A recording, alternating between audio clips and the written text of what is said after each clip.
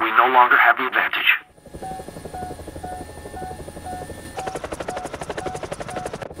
Allied forces have captured a zone.